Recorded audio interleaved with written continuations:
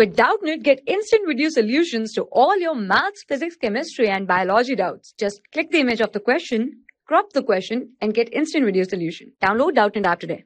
The given question says that find the prime factors of 1729, arrange the factors in ascending order, and find the relation.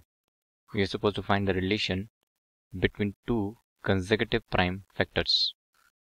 So first of all, this question is saying us to do three things. First of all, find the prime factors of 1729, arrange the factors in ascending order, and then find the relation between two consecutive prime factors.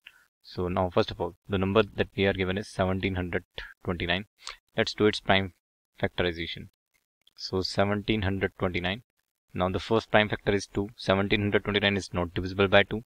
Then the next prime first prime number is 2 1729 is not divisible by 2 then we will move to the next prime number that is 3 1729 is, is uh, not divisible by 3 so the next prime number will be 5 let's check whether 1729 is divisible by 5 or not. No it's not divisible by 5 then the next prime number is 7 1729 is divisible by 7 and we will get 247 now is 247 again divisible by 7 no. Then we will move to the next prime number, which is 11.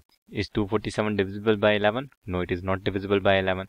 Then the next prime number is 13. On dividing 247 by 13, we will get 19.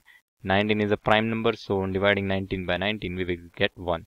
So we keep on going on, keep going on until we get a 1 here. So these are the prime factors 7, 13 and 90.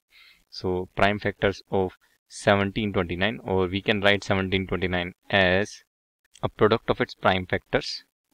So the prime factors are 7 multiplied by 3 multiplied by 19. In the question we were asked to find out the prime factors. So the prime factors are 7 comma 13 comma 19 now we are supposed to arrange them in ascending order so the least one will come first that is 7 then there will be 13 then there will be 19 they are now arranged in ascending order. Now we are supposed to find out a relationship. Now if we observe the difference between 13 and 7 is 6 the difference between 19 and 13 is 6 so this is the relation that the difference between difference between consecutive prime factors difference between consecutive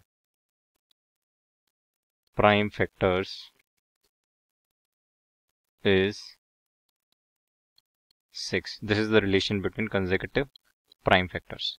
So we have done three things in this question. We first of all found out the prime factors of 1729 which were 7, 13 and 19. We arranged them in ascending order in this manner and then find the found the, relation between consecutive prime numbers and the, that uh, we found that the difference between consecutive prime numbers is 6. That's all. Thank you. For class 6 to 12, IIT JEE and NEET level. Trusted by more than 5 crore students. Download Doubtnut app today.